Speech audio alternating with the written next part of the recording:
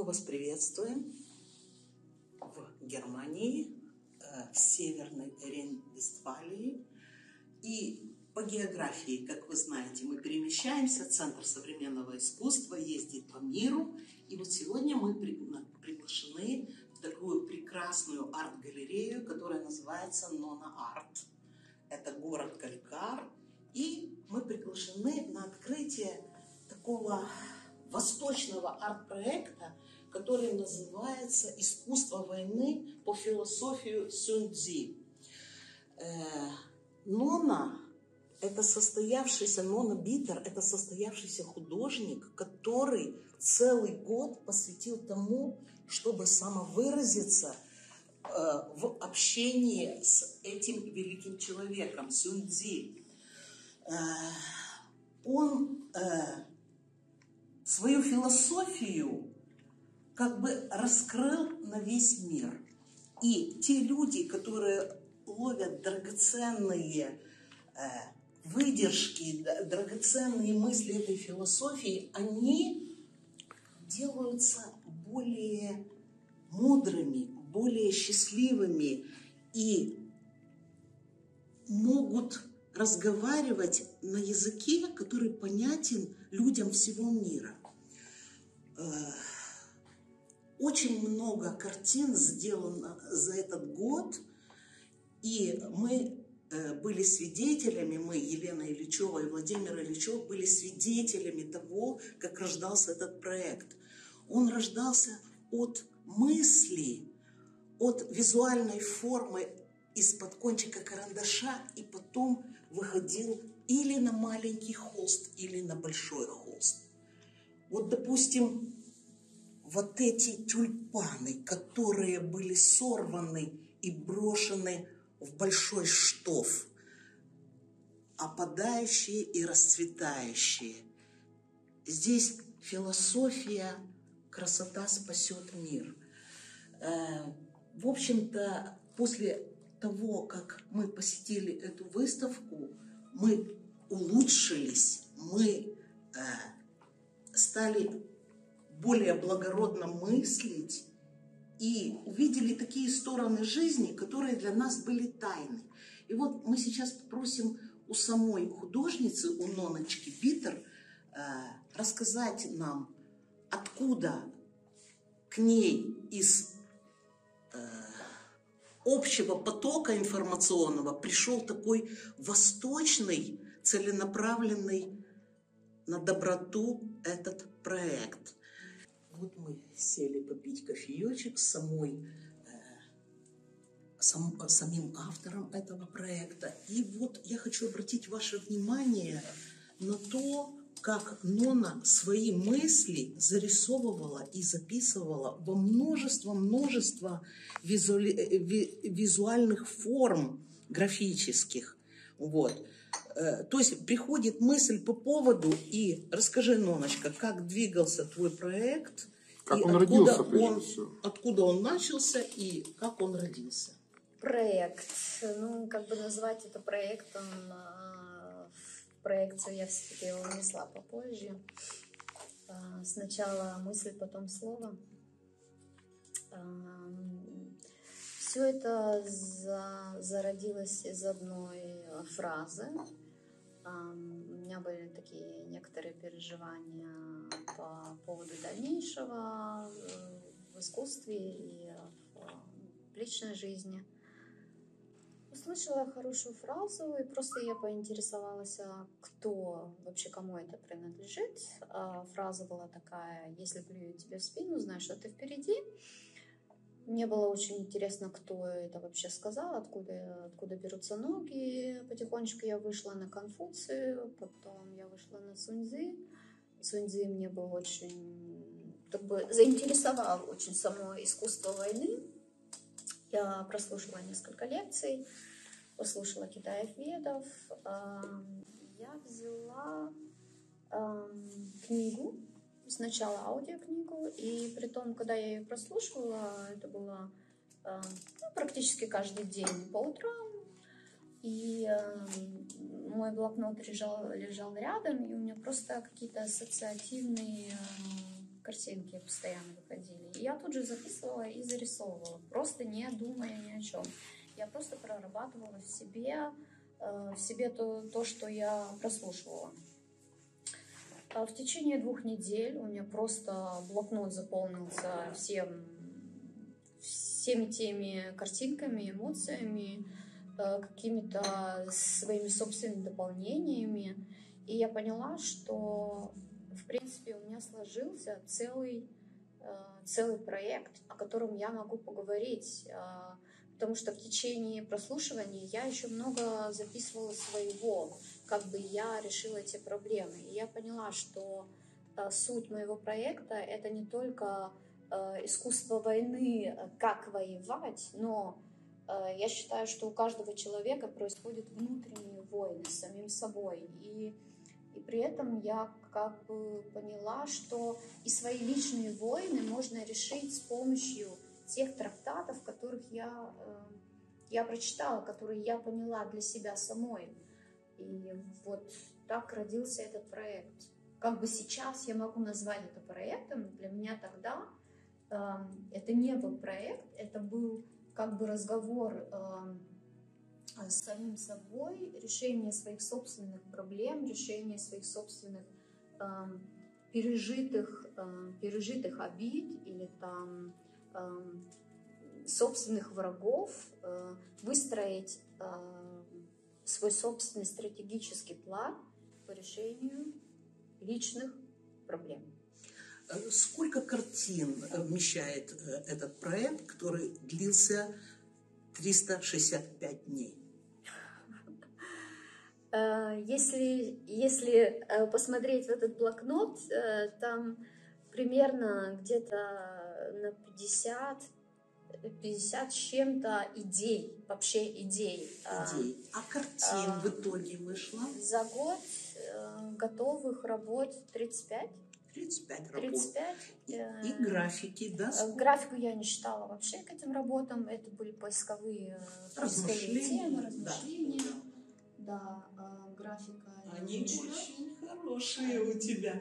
С натуры сделаны поисковые размышления. Это настолько доверие к зрителю, это настолько откровенный разговор, что человек полностью подготовлен к тому, чтобы подойти к размеру холста 90 на 120. Да, допустим, да, вот расскажи про эту работу, там, где множество, множество девочек, детей моют красные полы. Что происходит?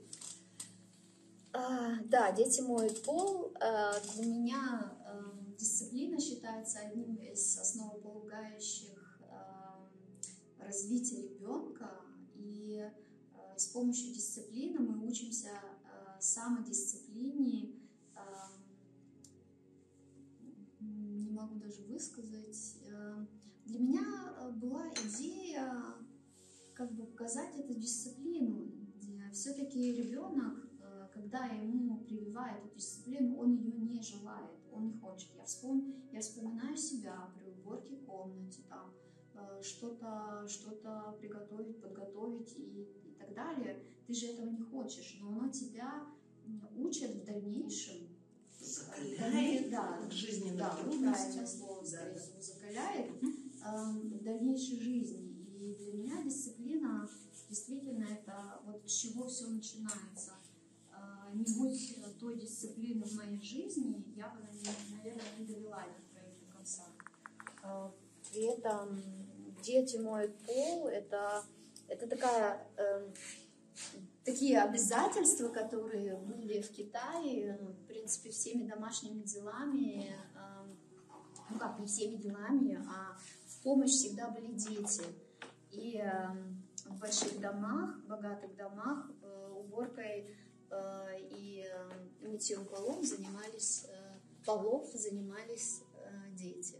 Поэтому для меня вот э, показатель той дисциплины, как дети, не хотя моют пол, э, устали. Э, и вот и вдаль уходя, они делаются сильнее, мудрее и закаленнее к жизни, правда же? здесь уже солнечный свет. Сами того не понимают. Да, да. Ну скажи мне, для этих детей понятно, что жизнь тяжелая дорога? Но они этого же не, ощущ- не ощущают дети, Мгм. что жизнь тяжелая дорога и что все-таки вот эти преграды, которые их э, ожидают впереди, они уже закалены, они Мгм. уже подготовлены к этим трудностям. Да. У Сюньцзи есть специальная выдержка да, по этому поводу, что закаляйся с молоду. Да? Нет, Впереди. э, А как там? э, э, если, давай. если я сейчас зачитаю, то... Давай зачитаем Сюньцзи, что по этому поводу говорит. Не сколько, не сколько по этому поводу, а про боевой дух. Да, да, да. Утром боевой дух смел, днем он слаб, а вечером мысли обращаются домой. А, Мгм. К чему я вела, что э, э, закалка и самодисциплина, а, оно, в принципе, со- э, сопоставимо друг Мгм. другу. А, Когда ты дисциплинирован, а, ты, ты себя контролируешь, твой боевой дух. Я обращаю это на себя. У меня была дисциплина начать этот проект. Он еще не закончен, я могу еще работать и работать. Но ам, если у меня вот этот боевой дух довести дело до конца, он все-таки присутствует. Я думаю, что я дальше буду с этим работать. На открытии выставки было очень много народу. И мы наблюдали за людьми. Э, Все люди, подходя к этой работе, э, заходили на территорию смущения, да, потому что они не знали, как реагировать на такую одежду. Смогут ли они ее одеть на себя? Смогут ли они примерить контраст красного с синим? Смогут ли они одеть такие деревянные чопики? Да? Работа называется «Скандал». Спросим у Ноны, почему эта работа вызывала всеобщее, не то что одобрение, а как бы парадоксальное такое замирание перед этой работой. Спросим у Ноны. Почему? Почему? Ну, наверное, во-первых, это э, не одеяние для человека, европейского человека. Это как бы национальная одежда Китая, кимоно. Даже я не, не называется это кимоно, сейчас э, не придет в голову быстро. В принципе, не каждый человек узнает рыб на, на, на этом платье. И при разговоре, когда мы разговариваем о этой картине, человек только воспринимает, что это рыбы, и рыбы поедают друг друга, и как бы кто кого, если не ты, то тебя называется. И примерить это скандальное платье на себя, а, что ты а, находишься в центре этого Вызываешь скандала, на что себя, это да. ты находишься, если ты его одеваешь, ты Мгм. понимаешь, одеваешь скандал на себя, и как бы человек реагировал, эм, как бы этот человек воспринимал это, этот скандал. А, Было бы ему хорошо, скандальный ли Мгм, это человек, мгм. или он все-таки не хочет, э, не хочет его одеть на себя, если он не конфликтный человек. Мгм. Да, я человек не конфликтный, но иногда хочется примерить этот э, кимоно. А зачем? Э, это- А зачем ты хочешь примерить свою силу Э, духа? Может быть, для того, чтобы, чтобы почувствовать себя в этом скандале, может Да. быть, чтобы какая-то закалка у тебя появилась а Мгм. против этого скандала, да, чтобы ты мог э, себя защитить, хотя бы просто прочувствовать это, как это может быть. Э, Когда ты находишься в скандале, ты хотя бы уже понимаешь, э, как тебе реагировать, как тебе быть, когда тебя осуждают. Эм, э, Или, допустим, сильно любят, да? Это тоже как-то смущает. Здесь осуждают, здесь сильно любят. Да, горячее, холодное. Ну да, когда ты стоишь посередине и на тебя все смотрят, ты становишься в центре обозрения, это Мгм. вот тоже как бы тоже не, не очень, ну как бы для меня не очень приятно. Что сказал Сюнди по этому поводу? Нападение это секрет защиты. Защита это планировка нападения. И продолжая рассказ, пожалуйста, про эту работу, которая вот сзади меня находится. Рыбы. Почему они в таком смятении? Ну, смятение, ну, я, ну, как бы, как бы для меня не смятение, это об- общественность, а, а, социум, а маленькая рыбка, голубая рыбка, она, в принципе, вместе с ними, но как бы она и не с ними вместе. Она маленькая, чтобы выбраться из сети, но при этом она совершенно другая. Суньцзы сказал, «Ам, чем гениальнее твой, э, твой план, тем меньше людей будут с ним соглашаться. Ты совсем другой. Они тебя не, как бы сказать, эм, да, по-русски.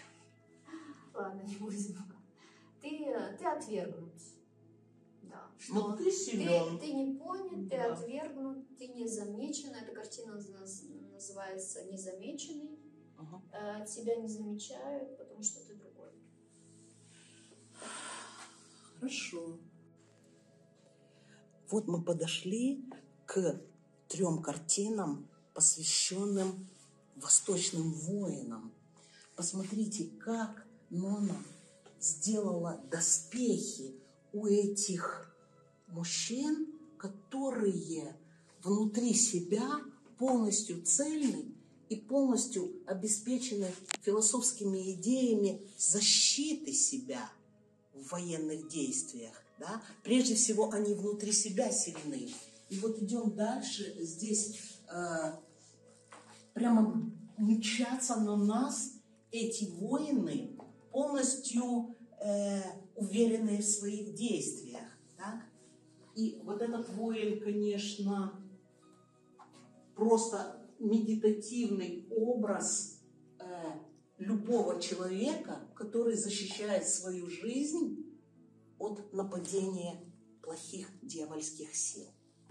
Сейчас мы спросим у Ноночки, что она хотела нам объяснить с помощью философии Сюнцин в этих работах.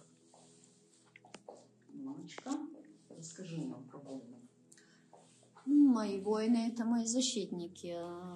Эм, Я не о войне, я о своей собственной войне, я о своих размышлениях, о своих э, нюансах э, за и против. Ам, Суньцзы сказал, э, знай себя и врага, и ты не будешь рисковать в боях.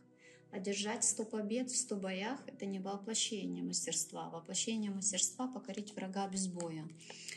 Так сказал. Мгм. Для меня, если у меня есть внутренний конфликт, то мне нужны свои собственные воины, чтобы мне решить этот внутренний конфликт. Тебе нужны латы для этого А, и оружие. Ну, оружие — это наше знание, оружие — это нас- наше мастерство. Для меня не нужны меч и стрелы, но эм, само воплощение воина, пусть, пусть он будет воином для меня. Да, это вот такие Понятно. вот защитники. А вот, допустим, если женщина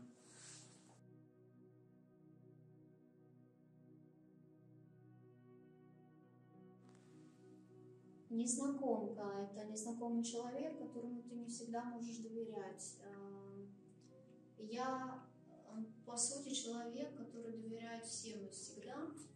А В течение своей жизни все-таки ты, ну, ты, ты учишься осознавать, кто перед тобой стоит, в- какой степени ты можешь доверять этому человеку. Не каждая не каждый красивый человек, не каждый красиво говорящий человек э, э, не будет вызывать у меня доверие.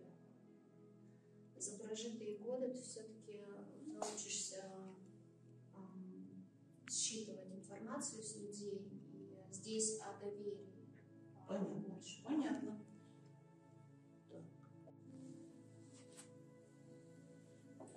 Нона, расскажи, пожалуйста, про своих знаменитых петухов, которые э, что-то делают, или дерутся, или танцуют, или летят, или исправляют пространство, или его портят. Расскажи, пожалуйста, про восточных петухов.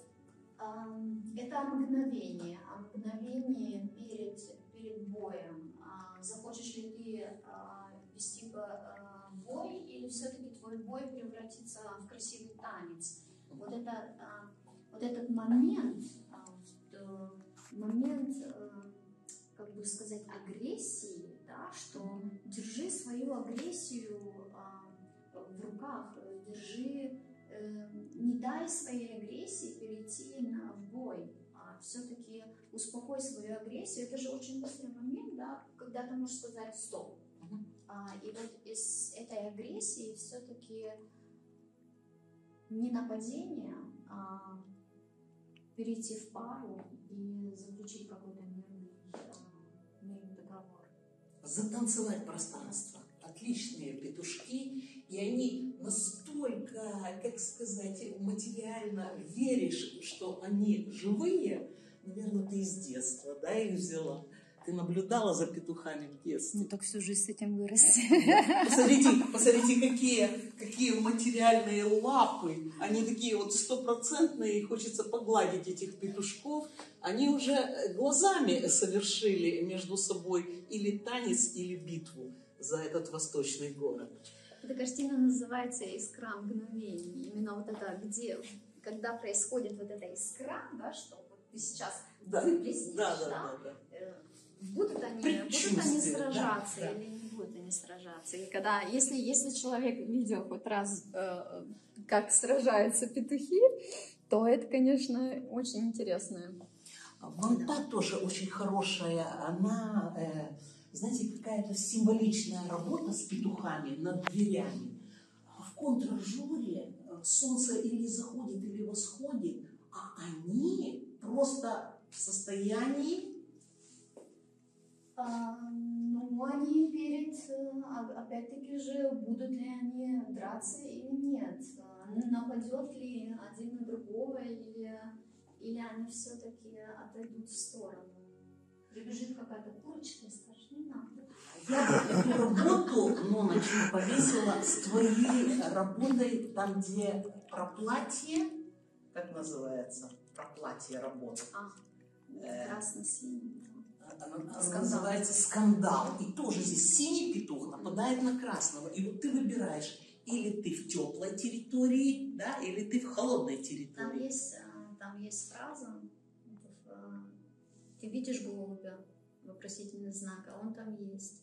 А, Голубь мира имеется Да, в том-то и дело, что если, если кто знает, что голубь мира, то они его не ищут. Потому что там, там этот пис, Peace ну, как символ, э, символ дружбы, символ, э, э, символ дружбы, символ мира переходит через голубя, и, в принципе, это и есть этот голубь, который там присутствует, символ дружбы. Эта стена посвящена стихиям, восточным стихиям. Стихия огня, Расскажи, Ноночка, про эту стихию в своем исполнении. Огонь для меня э, играет очень большую роль. Э, я сама очень боюсь огня. Я боюсь воды и боюсь огня. Ну, как бы настолько прям, чтобы я не взяла спичку, не зажгла огонь. Но я боюсь большого огня. Я в детстве э, видела пожар, э, горело поле, и оно настолько быстро развивалось, что принципе, ты думаешь, что ты успеешь, но, но ты просто не успела его потушить. И это поле просто вот в миг, оно, оно загорается. Стихия, и, да. И у тебя появляется вот это вот ощущение, что все, ты уже ничего не можешь вернуть. А для нас огонь, эм, он и друг, и враг. Он тебя угу. накормит и согреет, угу. и в, это, в то же время он тебя может просто испепелить. Угу. Поэтому э, не давай людям подливать масло в твой душевный огонь, чтобы не разразился пожар. Вот для меня это, это важно. Пусть тебе не капают масло, когда тебе так плохо. И переходим к следующей стихии. Следующий у нас Следующий у нас металл. Сейчас, вот он. А, да. Следующая работа – это металл. А, Началось с того, что Нона познакомилась с тем драконом, который символизирует это состояние. Ноночка, расскажи. Для меня дракон, э, почему-то, когда я слышу, слышу для меня всегда ассоциация какая-то дракона, потому что его вот эта металлическая чешуя и его сила, мощь э, э, в когтях, в зубах, в его, в его состоянии, оно ассоциируется у меня с металлом. Мандала, да, металлическая. Ну Да, здесь присутствуют все, все элементы. Э, Земля, вода, воздух. В принципе, он держит этот символ, э, символ всех стихий. И как бы он защищает. Для меня он защитник, он добрый. Все началось, самая моя первая картина. Эм, Мне хотелось уйти на территорию э, Китая, выстроить себе защиту, выстроить себе э, помощника. И это была первая картина, с чего я начала. Стихия воды. Вот сначала в почеркушках, в рисунках, и потом вот такая композиция с человеческим образом. Нона, расскажи, пожалуйста, про эту картину. А стихия воды, я олицетворила ее с работой человека. Сунзы говорит, если ты сам э, от своей лени э, не будешь о, тебе, о себе заботиться, то ты погибнешь. Именно лень. Здесь о лени. Если ты э, достаточно, эм, достаточно принесешь заранее себе воды, то никогда не умрешь от жажды. Поэтому человек э, при отдыхе, э, он в принципе, запасся уже достаточно водой, и опи- опираясь на это коромысло, он отдыхает, смотря на воду. Потому что на воду можно смотреть бесконечно, как она движется. Это бесконечное движение воды и э, ощущение, ощущение э, свободы. Именно вот это вот ты плывешь по этой воде, ты освобождаешь мысли, ты освобождаешь свои, свои эмоции, и при этом ты уже не погибнешь, потому что ты никогда уже не будешь испытывать жажду. Вот работа, посвященная земле, из которого растет дерево, земля и дерево. Чем дорого тебе это пространство и что ты хотела здесь самовыразить? Ам,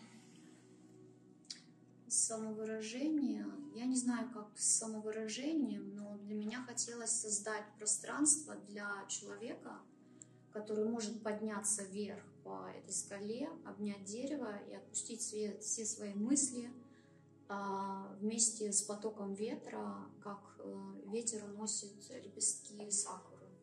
То есть это А, энергетически именно как бы пригласить человека к этому дереву, чтобы ты его обнял, потому что я сама захожу на него, обнимаюсь с ним, и все свои, все свои наболевшие а, мысли, которые я как бы хочу избавиться от них, я опускаю их вместе с этим э, потоком ветра. Ну, это тишина ума. Ты хочешь дереву отдать все суетливые мысли и остаться в спокойном Да. состоянии без мысли. Отлично. Так. Арт. Проект. Искусство.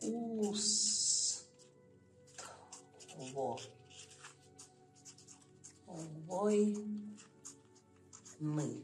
И вот здесь мог- может любой человек фломастером написать свое ощущение от этой выставки. Здесь тоже эксклибрисы этих рыб, и каждый человек, зашедший, зашедший на эту выставку, приходит в одном состоянии, а уходит совсем в другом состоянии, наполненным этими знаниями и этими визуальными формами. Хорошо, что Нона умеет эти формы облечь в такой цветовой, э, красочный э, как бы хоровод. Но помимо красок, Ноночка очень хорошо использует графические свои рисунки, которые как бы обнимают эту графику и объясняют, откуда движется мысль художника. Потому что графические рисунки всегда очень близки к тому, откуда зарождается мысль и как она потом развивается в живописную территорию. Когда человек приходит на выставку, он всегда находит ту работу, которая ему нравится больше всего. Мне, Елене Ильичевой, больше всего нравится вот эта работа. Я бы ее э, спокойно взяла бы и поставила возле своей кровати, чтобы просыпаться рядом с этим образом, который к нам вещает две с половиной лет, две с половиной тысячи лет назад, да, эта фреска была сделана. И здесь же вот такие вот прекрасные орудия, которыми человек может себя защитить, даже если эти орудия будут духовными. Когда заходишь э, Ноне в галерею, попадаешь э, на территорию предметов, которые собраны за длительные-длительные годы, натюрмортный фонд прекрасный и очень много восточных предметов, которые как раз пригодились в этом проекте так называемой духовной территории, когда люди пьют чай и улучшают свое психологическое состояние. Ноночка, расскажи, пожалуйста, про мини-проект внутри проекта «Чайная церемония». А, ну, я считаю, что нужно идти от а, главной картины каждому чайнику, чтобы понять а, сам, саму суть всей этой чайной церемонии. В традиции Китая есть чайная церемония. Я сейчас не буду про чайную церемонию, потому что очень много знаю, что такое чайная церемония. Я сама родилась в Казахстане, и именно само чай-питие вот это вот провождение время при э, чаепитии с друзьями, с родственниками, оно здесь, к сожалению, уже потихонечку отсутствует. Для меня чайная церемония. Если у человека возникла какая-то проблема, не пытайся решить ее сам. В твоем социуме, в твоем окружении есть находится достаточно людей – а, кто-то умный, кто-то тебя просто выслушает, кто-то тебя обнимет, а, кто-то тебе даст силы, и кто-то тебе поможет.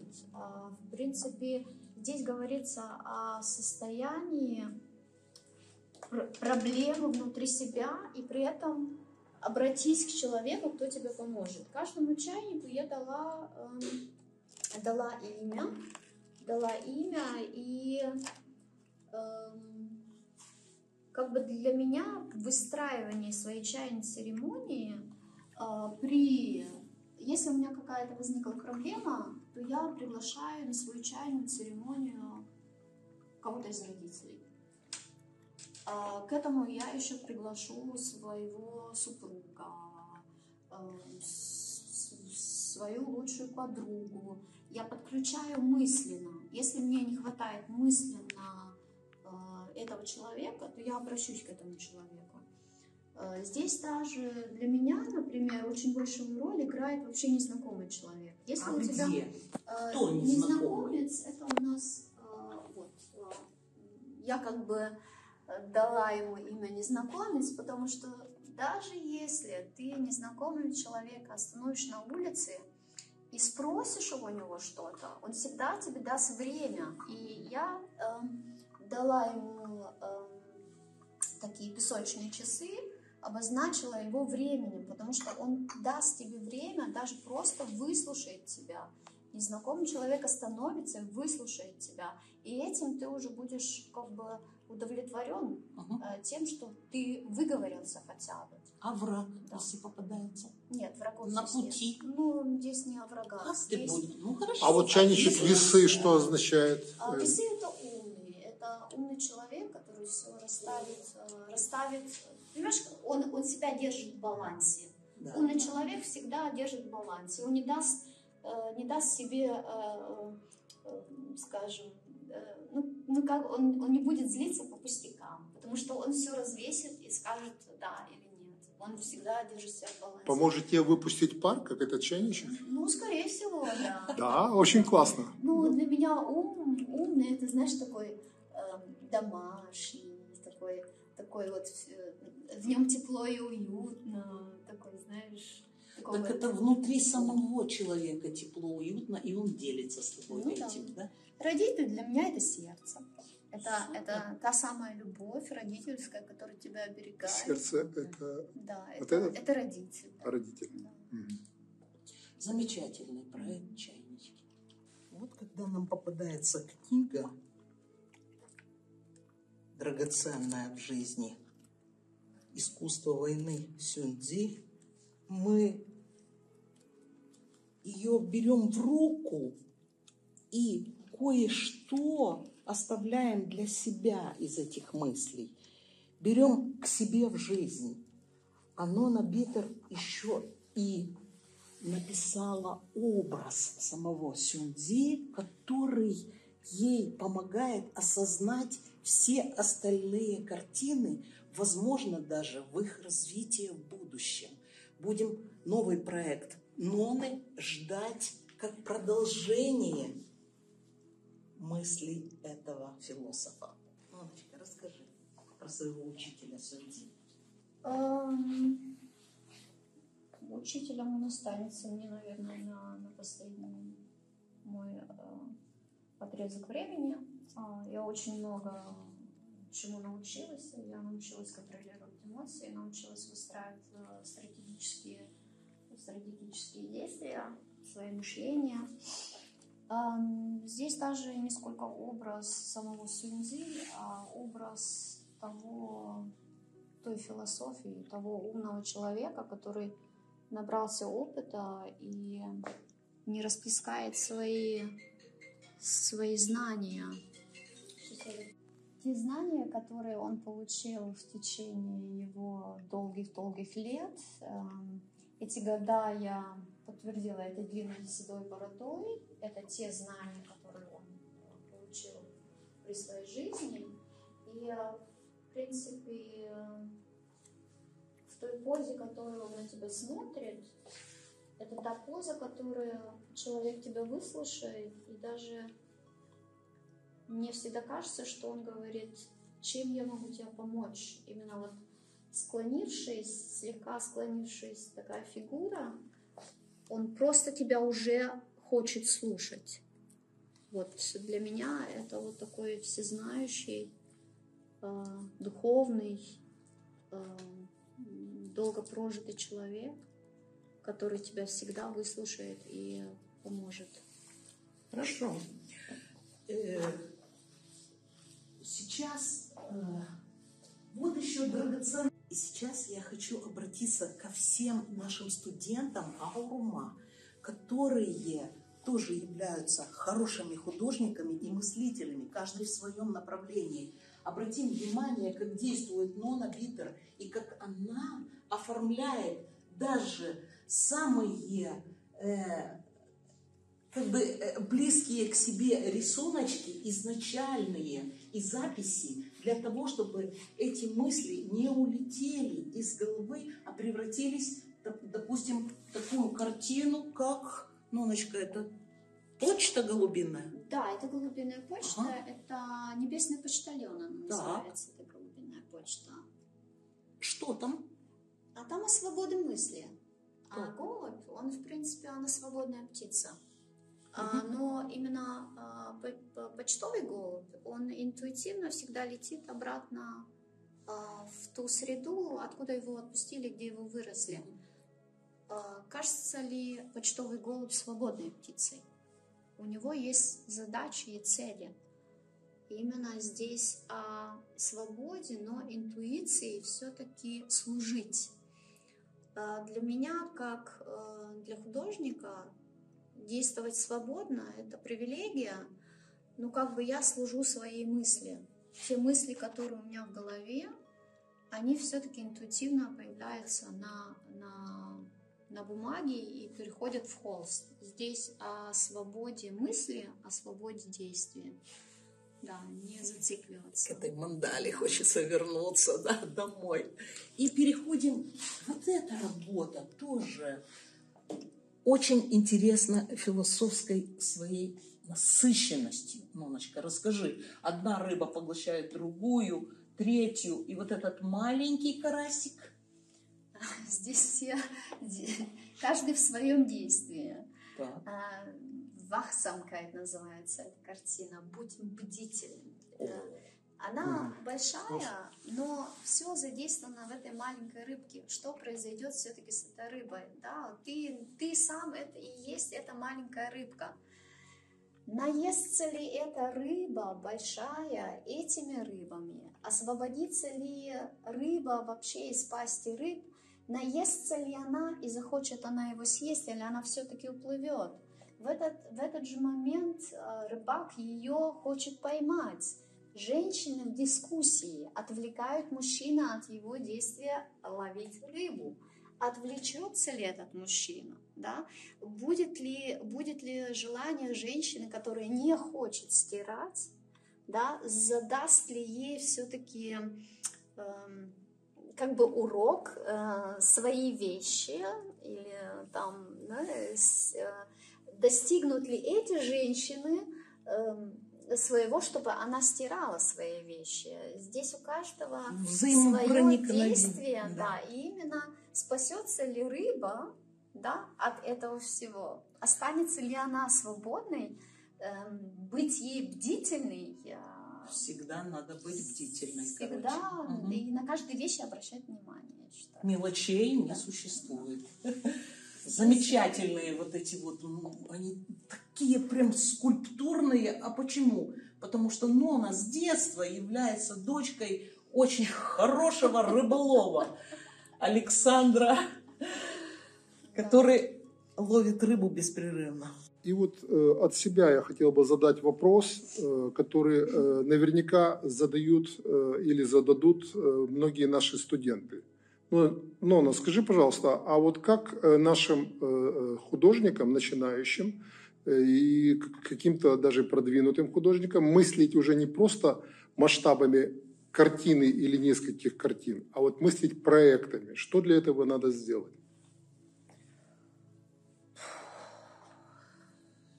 скажу от себя, как у меня было, а, я думаю, что а, мысль, она может прекратиться, и если ты заинтересован в том, что ты делаешь, если ты поймал интерес на- какой-то вещи, то если ты хочешь беспрерывно об этом говорить, то у тебя создастся сам по себе целый проект.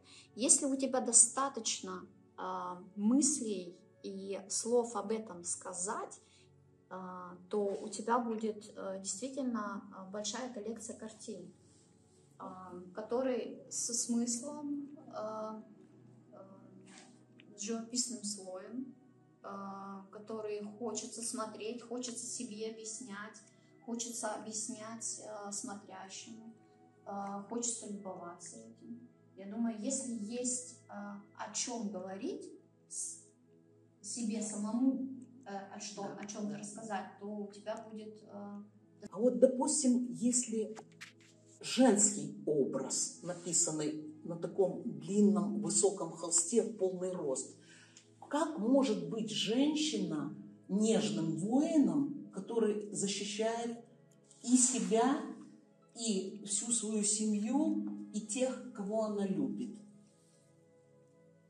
Ноночка, расскажи нам, как женщина может это делать? Ну, для меня эта женщина, это не воин женщина.